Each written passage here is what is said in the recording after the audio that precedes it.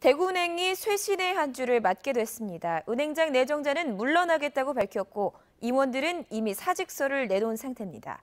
지역민들은 대구은행이 비리 고리를 끊고 새롭게 태어나기를 기대하고 있습니다. 김은혜 기자입니다. 김경용 대구은행장 내정자가 내정 40여일 만에 물러나겠다고 밝혔습니다. 김 내정자는 경산시 공무원 자녀가 은행에 특혜 채용된 과정에 개입한 의혹으로 검찰 조사를 받았습니다. 수사 결과 혐의가 없는 것으로 결론 났지만 조직 쇄신과 새 사업 추진에 걸림돌이 된다는 따가운 여론은 넘지 못했습니다.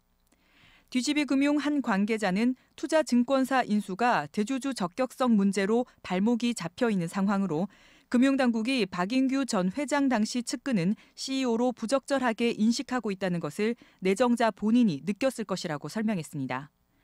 내일 긴급 이사회가 열립니다. 이사회가 내정을 취소하는 모양새를 취하고 은행장을 대행 체제로 할지 지주 회장이 겸직할지를 논의합니다.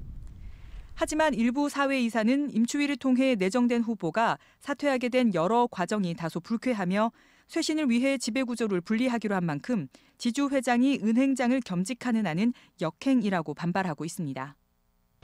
30명인 임원 규모를 줄이고 기존 임원 가운데 최소 절반 이상이 교체될 것으로 예상됩니다.